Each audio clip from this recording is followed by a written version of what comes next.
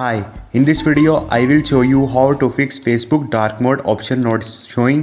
So whenever you open your Facebook application click on these three lines and go to the settings and here you will find dark mode option but if you will not find it here simply go back and uh, open your Play Store and once you will click on Play Store now you have to search for the Facebook and once you will make a search of Facebook you have to update it from here if it's not already updated version of the facebook.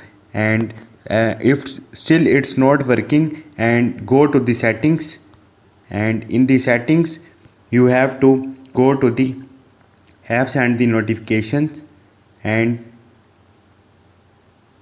you have to search for the facebook here and from here you have to click on the storage and cache and click on the clear storage. So uh, it will delete all the app data from your mobile and make your uh, app new. So maybe you will find a facebook dark mode option on the facebook. Hope this video will helpful for you. See you next time. Thank you